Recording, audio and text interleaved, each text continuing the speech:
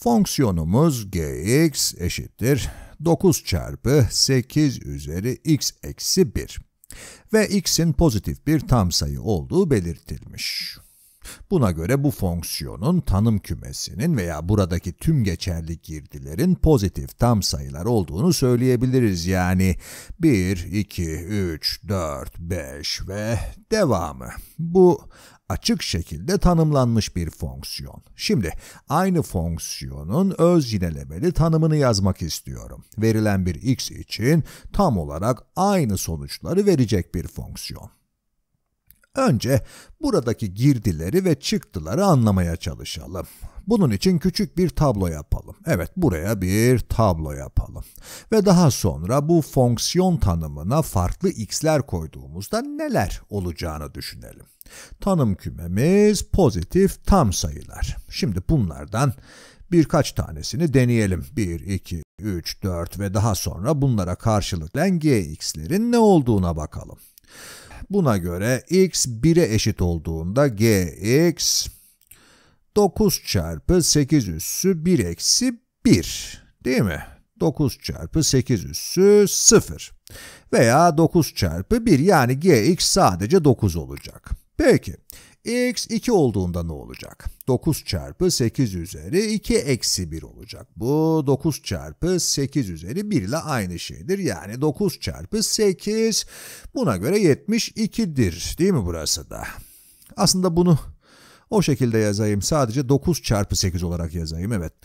Daha sonra x eşittir 3 olduğunda burada neler oluyor ona bakalım. Bu da 3 eksi 1 eşittir 2 olacak. Yani 8'in karesi olacak. Bunu da 9 çarpı 8 çarpı 8 olarak yazayım. Bir örüntünün oluşmaya başladığını görüyorsunuz değil mi? x 4 olduğunda bu 8 üzeri 4 eksi 1 olacak yani 8'in küpü.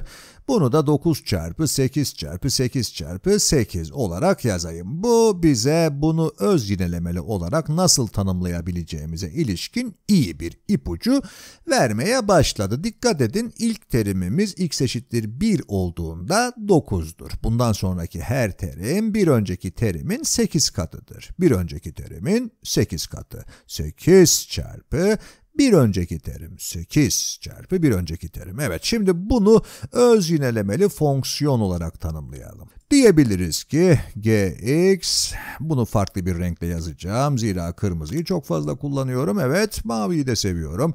Başlangıç durumunu tanımlayabiliriz. gx eğer x 1'e eşitse bu 9 olacak. Eğer x 1 ise gx 9'a eşittir. Yani buradakinin icabına baktık ve eğer başka herhangi bir şeye eşitse daha önceki gx çarpı yani eğer aşağıya x eksi 1'e kadar gidelim ve daha sonra bir x buna göre eğer buradaki giriş gx eksi 1 ise ki bunu bulmak için 8'leri pek çok kez çarpıp önüne bir de 9 koyarsınız ama bunu yapmayacağız. Biz gx'in gx'in buradaki bir önceki giriş yani gx eksi 1 çarpı 8 olacağını biliyoruz. Evet bir önceki çarpı 8.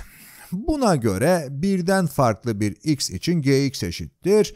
Bir önceki giriş, bunu farklı bir renkle yazayım. gx eksi 1 çarpı 8 eğer x birden büyük ise, daha doğrusu x birden büyük bir tam sayı ise değil mi? Evet.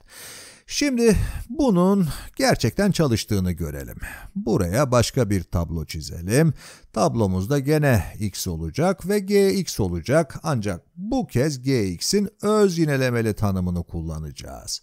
Öz yinelemeli olmasının sebebi kendisine referans vermesi. Tanımında diyor ki, hey gx eğer x 1'e eşit olmazsa gx eksi 1 çarpı 8'sin. Fonksiyon kendisini kullanıyor. Evet, şimdi Bakalım x 1'e eşit olduğunda gx eğer x 1'e eşitse eşittir 9. Evet 9'a eşittir. Bu oldukça kolaydı.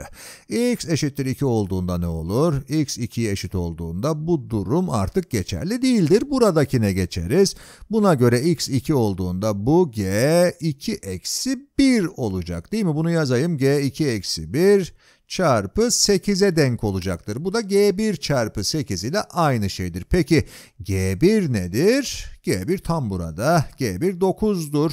Yani bu eşittir 9 çarpı 8 olacak. Evet burada elde ettiğimizin aynısı ve tabii bu G2 idi. Şimdi bunu yazayım. Bu G2 birbirine karışmaması için biraz sağa kaydırayım. Şimdi de 3'e gidelim. 3 evet şimdi önce G3'ü yazacağım. Buna göre G3 eşittir. Bu durumu yapacağız.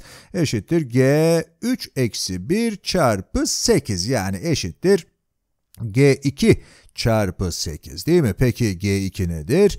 G2'nin 9 çarpı 8 olduğunu az önce bulmuştuk. Buna göre eşittir 9 çarpı 8 çarpı tekrar 8. Tam olarak aynı sonuçları elde ettiğimizi görüyorsunuz değil mi? Buna göre bu fonksiyonun öz yinelemeli tanımı tam olarak budur.